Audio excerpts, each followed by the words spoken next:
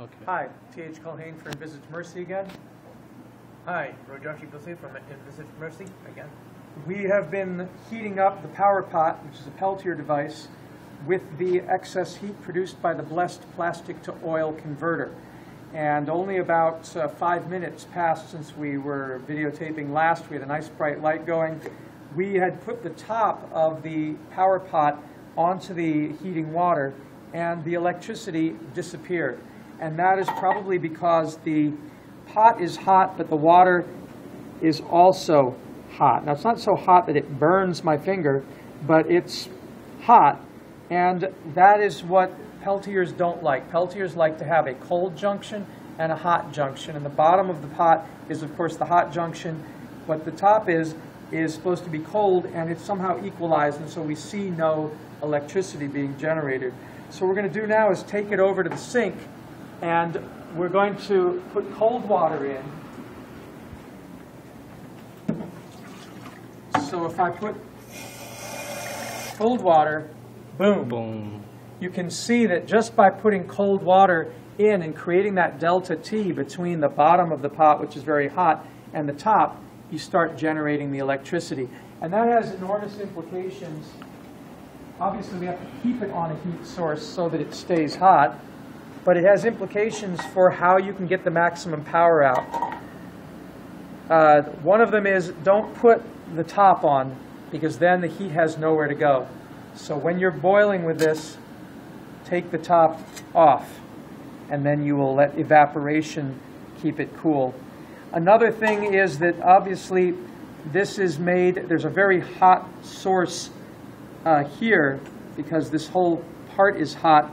And when this pot is too close to that, there's also less of an ability for the heat to get off of the rest of the pot. So you want to try to keep that uh, away from another heat source. And this would work best in a cold camping environment where you have a really hot flame underneath the pot, but the air is cold around the pot itself to carry off that heat and create that delta T. So this time we're going to leave the top off and we'll see how long it takes before the electric current stops being produced. But uh, that's uh, an interesting observation. One would think the hotter you got it to get it boiling, the more power you get. But this is about having a way to carry the excess heat off. And you can see it's beginning to dim even right now, even though it's sitting on there as the temperature here begins to equalize. It's getting dimmer and dimmer and dimmer. And of course, now it's almost out. So what we do is once again, come over here, toss out the warm water, put in cold water, and you see how bright it gets. So I suppose that what one will really do is put in a full pot of water so that you've got a nice long charging time because there's a lot of cold water in here.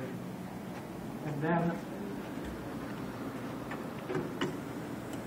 when we put this on, we should gradually begin to see this turn on again as the difference, because now it's cold water in there.